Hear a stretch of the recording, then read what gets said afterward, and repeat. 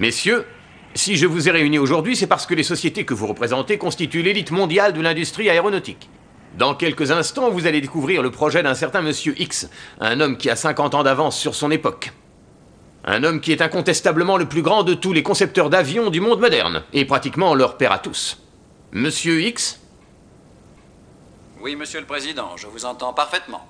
Messieurs, vous voudrez bien pardonner les extraordinaires mesures de sécurité que nous avons prises, mais quand vous saurez que Monsieur X n'est autre que le concepteur du vaisseau de reconnaissance de la sécurité internationale, vous comprendrez que son anonymat est primordial. Monsieur X veut nous soumettre le projet d'un nouveau type d'engin qui va révolutionner l'aéronautique. Cet instant est à n'en pas douter l'événement le plus marquant de toute l'histoire de notre compagnie. À présent, messieurs, l'heure est venue. Quelle est cette invention? Un supersonique? Puisse atteindre dix fois la vitesse du son Un vaisseau spatial qui voyagerait à la vitesse de la lumière Bien mieux que cela sans doute, car votre génie dépasse les limites de mon imagination.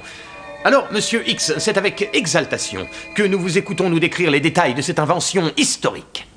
Eh bien, monsieur le président, messieurs, je me suis dit que ce serait une bonne idée, pour répondre aux exigences de notre époque en matière de vitesse et de choses de ce genre, euh, de concevoir un dirigeable. Un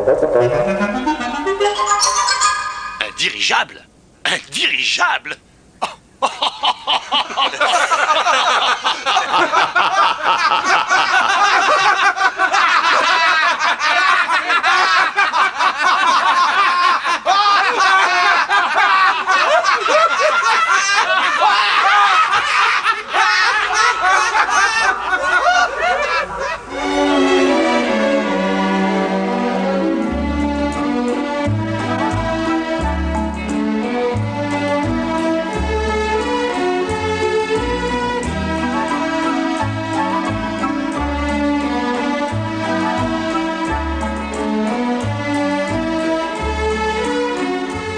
Cette île paradisiaque au milieu de l'océan Pacifique abrite le quartier général de la sécurité internationale, resté secret jusqu'à ce jour.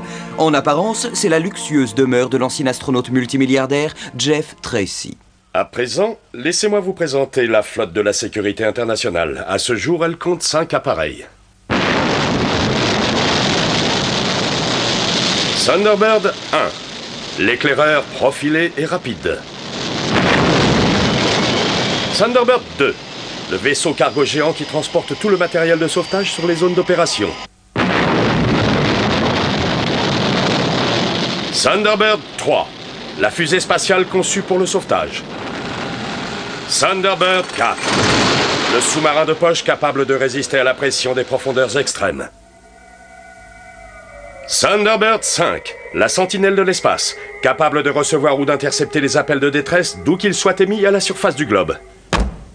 Mais je vous l'affirme, Brain, et ce dans les termes les plus explicites. Il nous est indispensable d'avoir aujourd'hui un Thunderbird 6.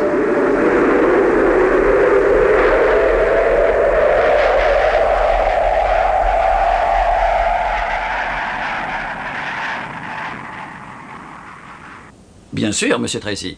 Mais pourriez-vous me donner quelques indications? J'aime bien travailler avec un cahier des charges. Un cahier des charges? Vous n'avez pas eu besoin de cahier des charges quand vous avez conçu ce dirigeable pour la compagnie d'aviation du Nouveau Monde C'est exact. Je n'en avais pas. Et que s'est-il passé? Ils ont ri. Vous avez raison. Ils ont ri de vous, et ils l'ont construit tout de même.